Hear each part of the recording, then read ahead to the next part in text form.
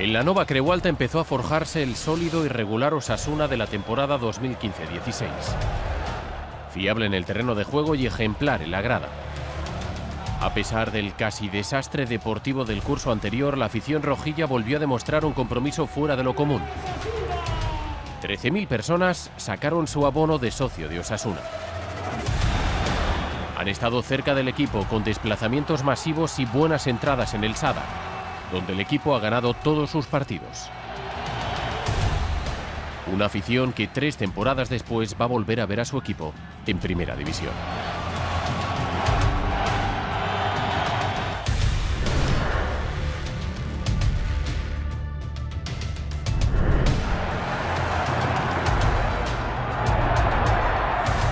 La grave crisis económica obligó a Osasuna a apostar por la cantera la temporada pasada.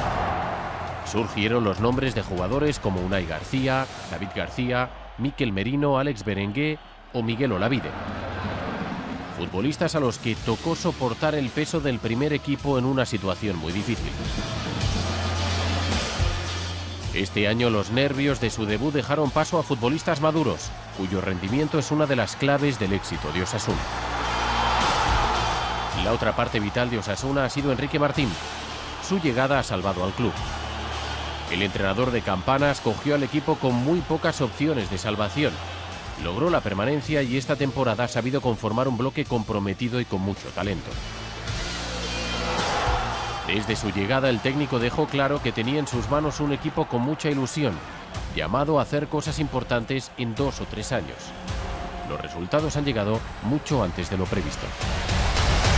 Ha sido muy emotivo todo para mí durante este año. Estoy aquí de, de regaliz con toda... Eh, y bueno, pues al final, Osasuna y yo entramos en la UBI hace un año y ahora estamos tocando el cielo, ¿no? Cómo nos cambia la vida.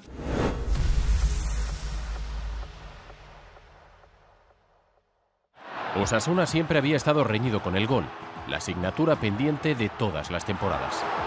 En verano el equipo rojillo se hizo con los servicios de Bogdan Milic y Alex Sánchez y volvió a confiar en la eficacia de Nilo. Sin embargo, la aportación goleadora llegó desde atrás, donde Enrique Martín ha sabido conformar una segunda línea con mucho gol.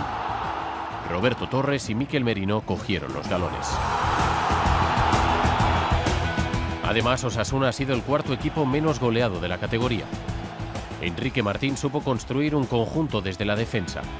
Protegido por Unai García y David García como centrales, Naucet Pérez ha sabido adaptarse muy rápido al equipo y está protegido en el banquillo por Mario Fernández, otro portero de garantías. Tano en la defensa y Adrián Cruz en el centro del campo llegaron libres y el club apostó por las cesiones de Luis Martins en el lateral y Matei Puco en ataque. En el mercado invernal, Enrique Martín fortaleció al equipo con las llegadas de Urco Vera, Manolín y Miguel de las Cuevas, que regresaba de nuevo a Osasuna para aportar desequilibrio y calidad. Osasuna contó finalmente con una plantilla equilibrada a pesar de la limitación de 18 fichas profesionales. Futbolistas que han entendido y manejado a las mil maravillas los dos sistemas utilizados por Quique Martín, el 4-4-2 y el 5-3-1.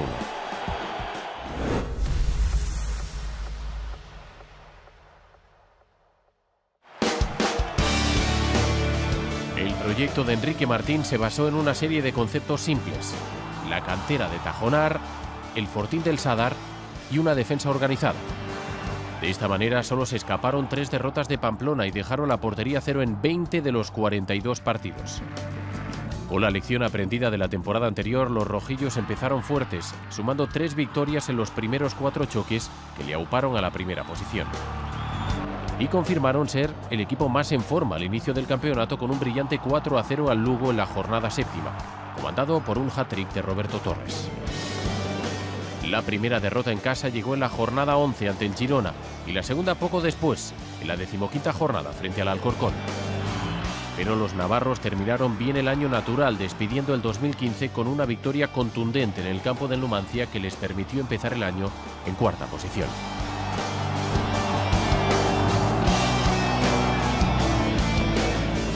Los de Enrique Martín fueron residentes habituales en la zona noble de la clasificación a lo largo de toda la temporada. De hecho, nadie estuvo más tiempo entre los seis primeros puestos que los navarros, que ocuparon estas posiciones durante 36 jornadas. Pero el primer bache llegó en febrero, donde los rojillos encadenaron cuatro partidos sin ganar.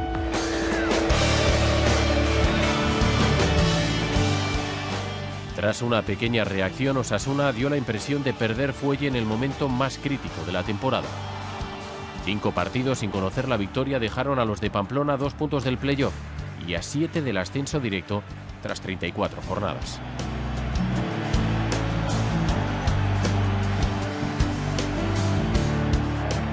Fue en ese instante cuando retomaron la fórmula que también había funcionado durante gran parte de la temporada los navarros se centraron en no regalar goles y ser lo más eficaces posibles de cara a la portería.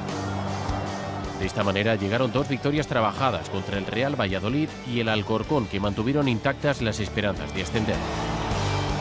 La esperanza se convirtió en convicción con un gol sobre la campana de Miquel Merino en la jornada 39 ante el Numancia.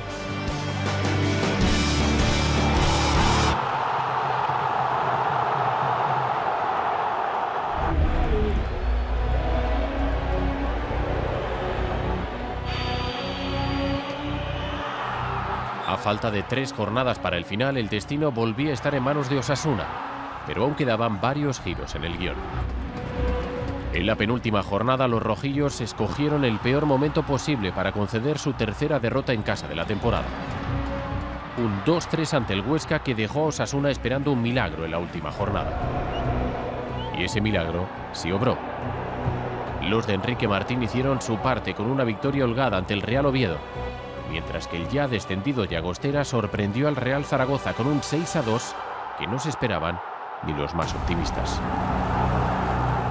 El triple empate entre Osasuna, Alcorcón y Real Zaragoza favoreció a los pamplónicas, quienes accedieron a los playoffs con la moral por las nubes. Una vez dentro ya no miraron hacia atrás y truncaron los sueños del Nastic de Tarragona y del Girona. Los navarros vuelven a Primera División tras dos temporadas en la División de Plata demostrando que hace falta constancia y una pizca de suerte para ser uno de los tres elegidos. Al margen del resultado de hoy, creo que habíamos logrado algo muy importante, el, poner unos cimientos firmes con una hinchada joven, con un futuro grande y nos faltaba la guinda, ¿no? Y mira tú por dónde, pues bueno, la hemos conseguido, con lo cual la felicidad es completa. Pero yo diría desde aquí hoy, estoy contento, pero quiero que todos los osasunistas interioricen una historia. No podemos cometer errores pasados. Eh, no podemos gastarnos un dinero que no tenemos. Tenemos que entender que si subimos el año que viene podemos bajar y que no pasa absolutamente nada y que tenemos que seguir igual.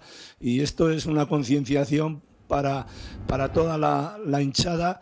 Eh, es importante la prensa que, que, lo recuerde cada dos por tres, porque así, si lo interiorizamos, sufriremos menos, disfrutaremos más y seremos más felices. De todos los goles, estos son los cinco mejores de la temporada de Club Atlético Sasuna.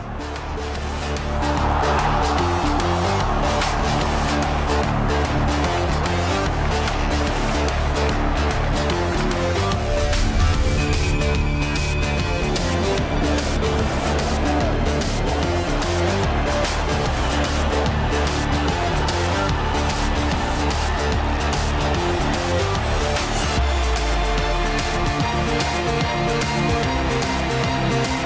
back.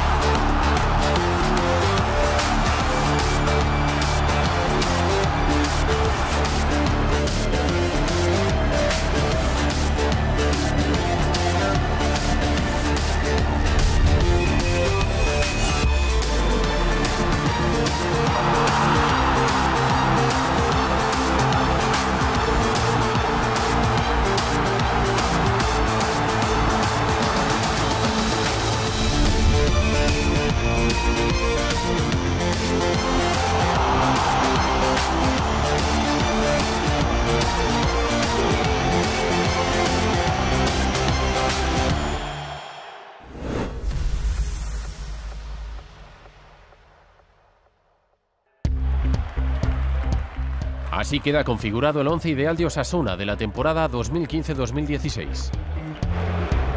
Naucet se adueñó del marco rojillo desde el primer día. El guardameta canario ha sido titular en los 46 partidos de liga disputados por Osasuna en la presente campaña. En su primera temporada su carácter ha encajado a la perfección dentro del vestuario.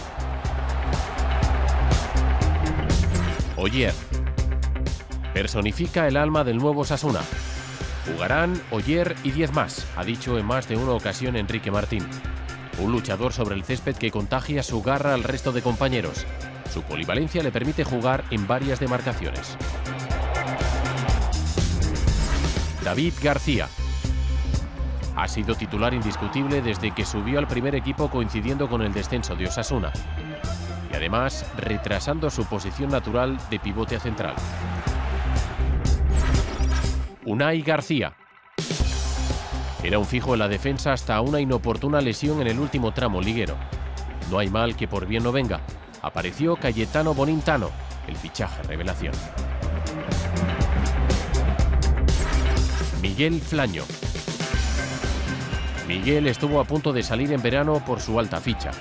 El central comenzó la temporada en el banquillo, pero pronto se hizo un hueco en el once.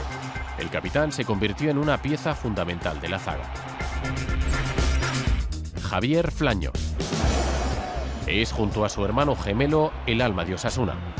El autor del milagroso gol de la permanencia en Sabadell del año pasado ha sido titular indiscutible en el carril izquierdo, siendo diestro. Roberto Torres.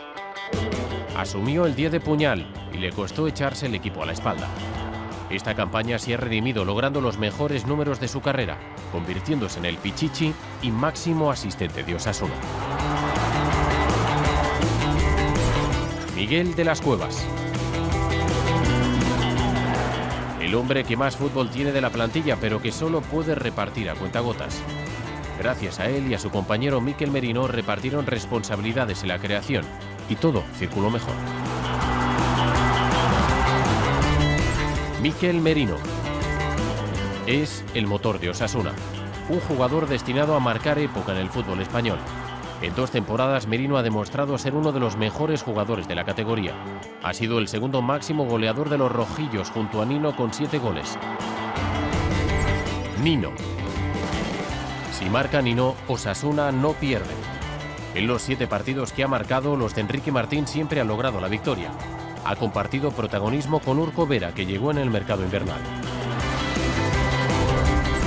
Kenan Codro. Sin apenas protagonismo a lo largo del año, Kenan Codro ha sido la gran sorpresa de los playoffs de Osasuna.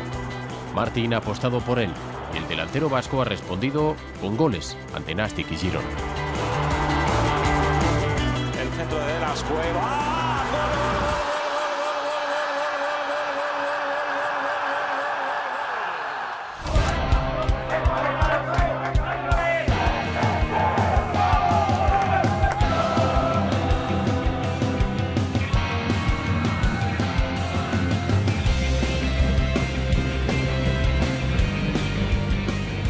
Ese balón de nuevo al sprint para Codro, posición correcta, atención, puede llegar el gol de Osasuna, gol.